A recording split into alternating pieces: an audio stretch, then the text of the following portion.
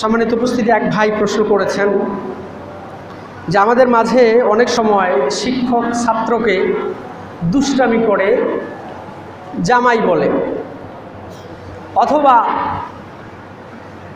অন্য আত্মীয়তার একটা সম্পর্ক আছে কিন্তু দুষ্টামি করে জামাই বলে। সম্মানিত উপস্থিতি, মনে রাখতে হবে ইসলাম সামান্য পরিমাণ মিথ্যার মাধ্যমে মিথ্যা নয়, সামান্য পরিমাণ বিনোদনের হাসি খুশির অনুমতি দিয়েছে। তবে এই হাসি খুশি এবং এই বিনোদন ততক্ষণ পর্যন্ত বৈধ, যতক্ষণ পর্যন্ত সেটি মিথ্যা হবে না।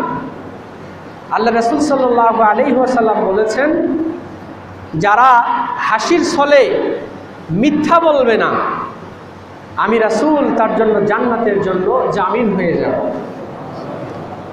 সম্মানিত উপস্থিতি, আমরা যেই ছোট বাচ্চাকে কিংবা ছাত্রকে আমরা যে জামাই বলি, এটি এক ধরনের কিন্তু মিথ্যা। এই ধরনের সম্পর্ক কিন্তু তার মাঝে নেই।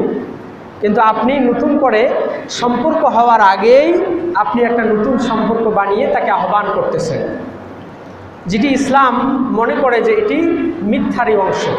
সুতরাং এই সমস্ত আহ্বান থেকে, এই সমস্ত ডাকা থেকে আমাদেরকে বিরত থাকতে হবে। এটি ইসলাম সাপোর্ট করে না, ইসলাম আসলে এই মিথ্যা, হাসি, তামাশা আমাদেরকে বৈধতা দেয় না। আল্লাহ পাকব্বুল আলমিন আমাদেরকে এই সমস্ত আহ্বান থেকে, এই সমস্ত ডাকাডাকি থেকে আমাদেরকে বিরত থাকার তৌফিক দান করুন। সকলে বলে আল্লাহ আমিন।